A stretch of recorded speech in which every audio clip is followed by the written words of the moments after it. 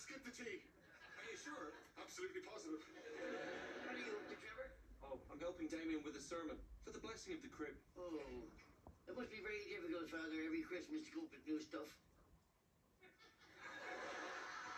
Will you there, Mrs. Brown, at the blessing? Oh, no, no, I can't stand the smell of that incest.